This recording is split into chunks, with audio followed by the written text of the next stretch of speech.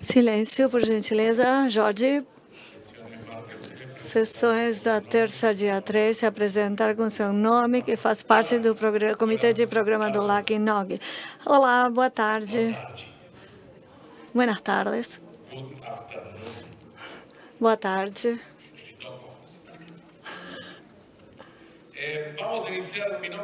Vamos iniciar. Eu sou Thomas Lynch, faço parte do comitê de programa do LACNOG como eh, convidado. Eh, eu vou conduzir este espaço da tarde. Vão ter que, junto comigo, no Zoom, temos Jaime Olmos, que também faz parte do comitê de programa, ah, que vai cuidar da sessão de perguntas que possam surgir no Zoom. E, se não me engano, no Zoom tem uma parte de Q&A, de perguntas e respostas, e aí vocês podem fazer as perguntas. Ah, vamos iniciar as sessões do LACNOG, convidando Ariel Homem-Aranha Weher e Erika Mulher Maravilha Vega, presidente e secretária, presidente do, da diretoria, do LACNOG e a secretária da diretoria do LACNOG. Recebemos eles dois com uma salva de palmas.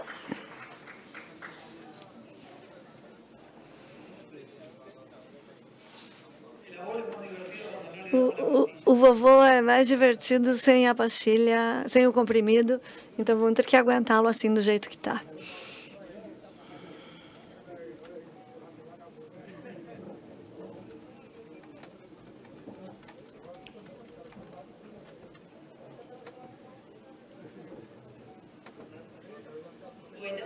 Bom, boa tarde a todos. Espero que estejam todos muito bem. Dou, sejam bem-vindos à abertura do nosso importante espaço do LACNOG. Para não eh, tirar muito tempo da excelente agenda que preparamos para o LACNOG, vamos fazer uma breve apresentação da nossa organização. Queremos lhes contar alguns aspectos gerais sobre como opera o LACNOG, as atividades que realizamos no nosso grupo de operadores, que este ano completa 13 anos. Bem-vindos mais uma vez e vamos começar com nossa apresentação. Está certo, Ariel? Bom, o LACNOG é o grupo de operadores de redes da América Latina e Caribe e é uma associação civil internacional sem fins lucrativos. Eh, ela foi constituída faz pouco é, e já tem personalidade jurídica e está sediada em Montevideo, Uruguai. E os que formamos a organização somos todos os atores encarregados de operar as redes de internet da nossa região da América Latina e Caribe. E, como falei, estamos completando 13 anos desde sua criação. A nossa missão é reunir todas as pessoas que operam redes da internet na nossa região para trocar experiências, participar de eventos que organizamos a cada ano e mantermos essas discussões que fazemos nas nossas, nos nossos mailing lists e, os, eh, e o que é mais importante é sermos uma organização referente na área de interesse no âmbito técnico.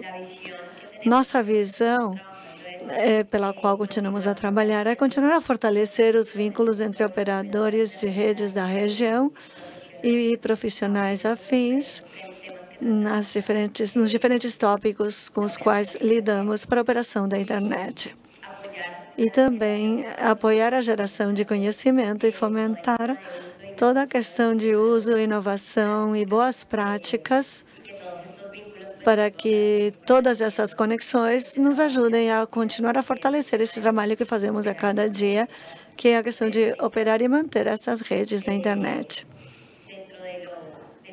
E, quanto ao que fazemos e os objetivos iniciais, para além do que já falei, nós, como referentes da região, eh, eh, nosso intuito é que possamos apresentar, junto a organismos internacionais, os pontos de vista e interesses relativos aos operadores de rede da região, também cooperar com o processo da internet,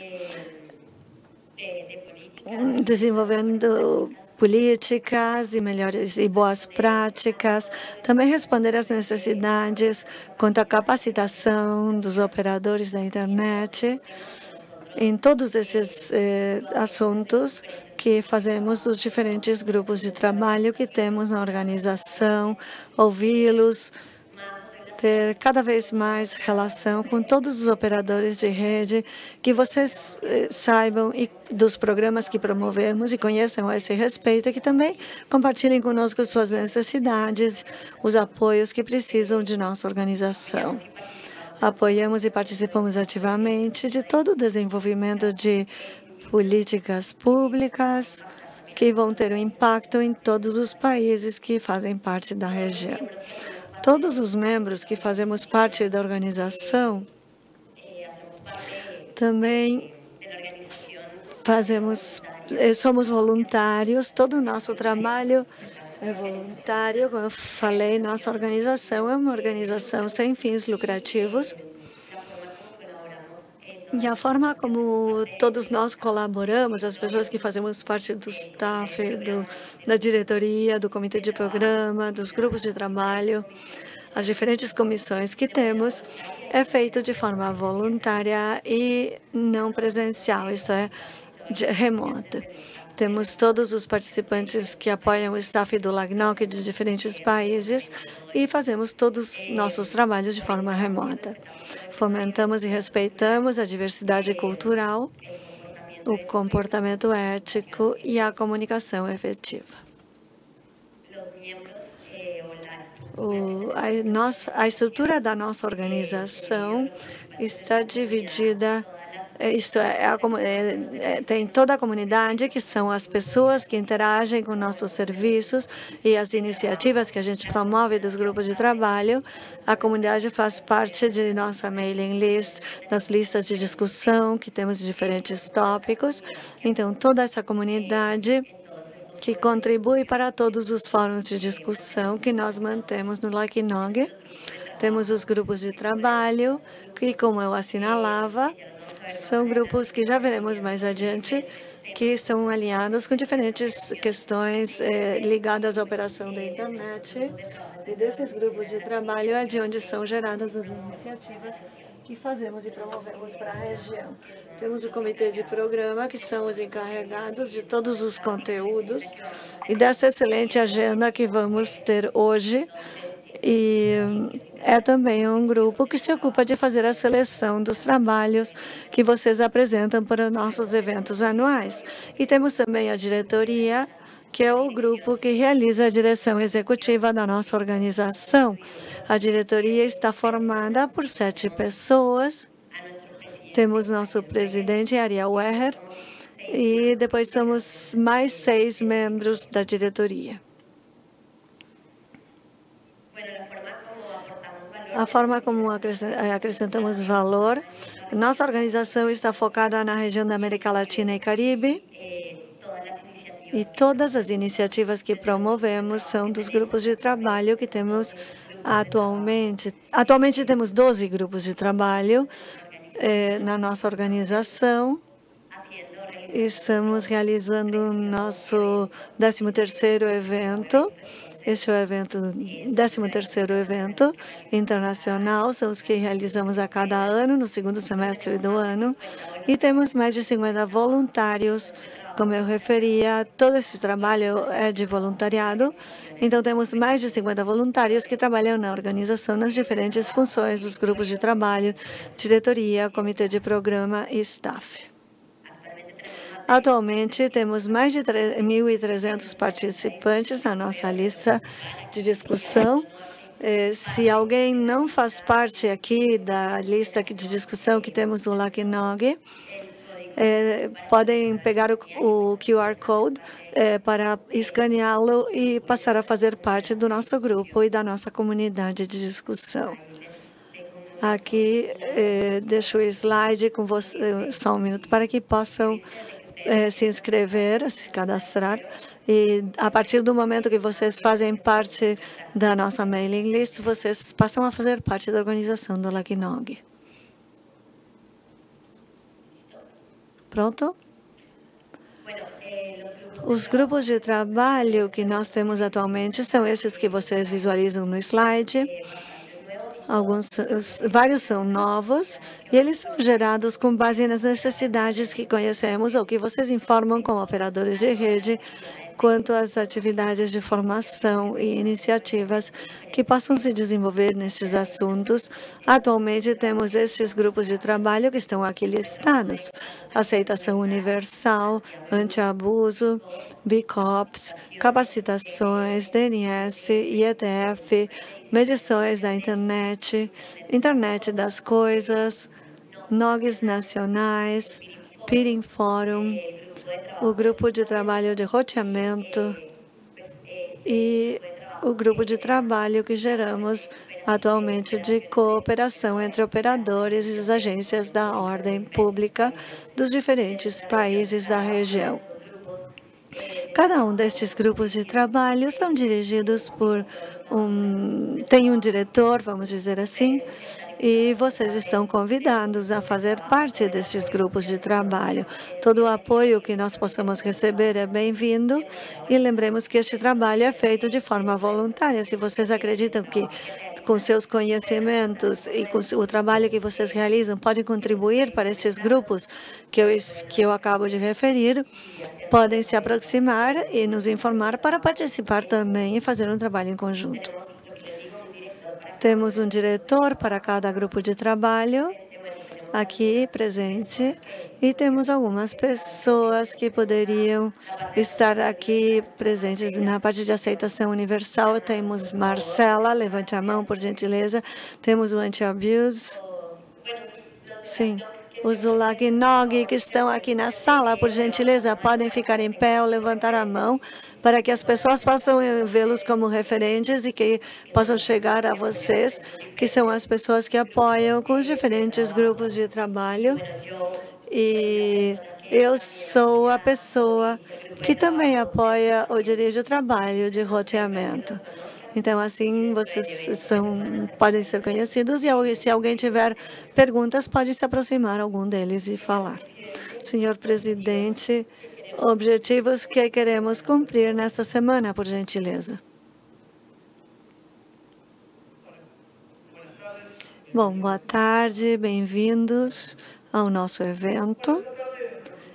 Nessa tarde, nosso principal objetivo, e pela primeira vez, vamos realizar nossa primeira Assembleia de Sócios.